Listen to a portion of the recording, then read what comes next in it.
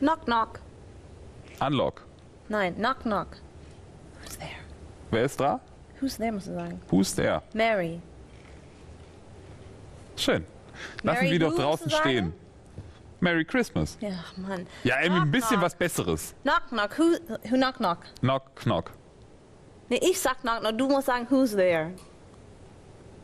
Sag Ja, mal, who's mach. there? ja, du hast doch noch nicht geklopft. Knock, knock. Ha, Who's there? Nana. Nana Muscuri? None of your business.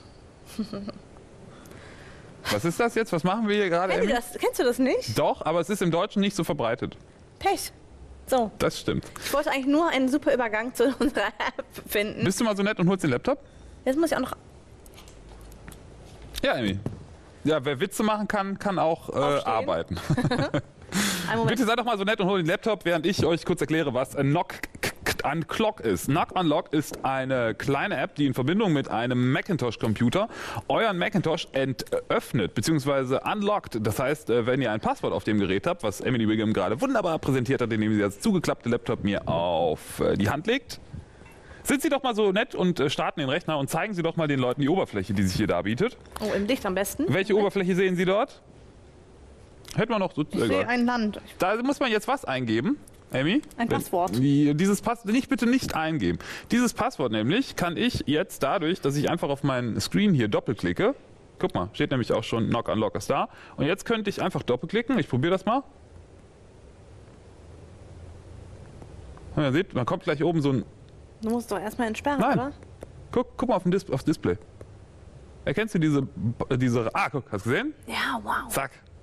Jetzt könnte man das nochmal, also du äh, lockst es damit und mal gucken, das habe ich gar nicht ausprobiert, ob ich durch Doppelklicken das auch dann wieder locken kann. Aber wahrscheinlich nicht, wenn dein Handy aus ist. Doch, eben dann auch. Ja. Das ist der Gag. Ja, ja. Du kannst eben bei ausgeschaltetem ähm, Display ähm, durch, das, äh, durch Bluetooth, du musst Bluetooth aktivieren und wenn das läuft, es gibt so einen super Energiesparmodus bei Bluetooth, das heißt, der kann im Hintergrund laufen, relativ wenig Energie verbrauchen, hat dann dadurch auch eine geringere Reichweite, ist aber dafür vollkommen ausreichend, weil du gehst ja in die Nähe des Laptops, hast das Telefon meistens in der Tasche.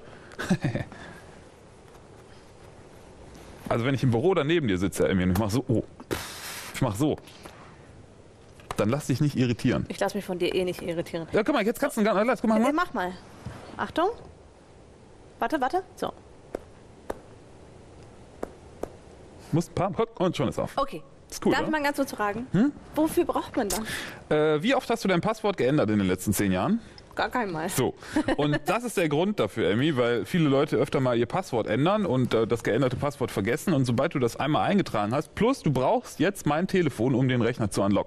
Hättest Achso, ich könnte jetzt nicht das Passwort eingeben. Doch, das kannst du natürlich auch eingeben. Allerdings, wenn du so ein langes Passwort eingibst, was sich kein Mensch merken kann, weil es zu abzuschreiben ist, der ist äh, mit Knock Unlock richtig gut bedient. Okay. Echt eine coole App. Muss man mal wirklich sehr schön und äh, richtig, na, echt gut. Äh, äh, Finde ich also, ja, ich, ich auch. gut. Für 3,59 50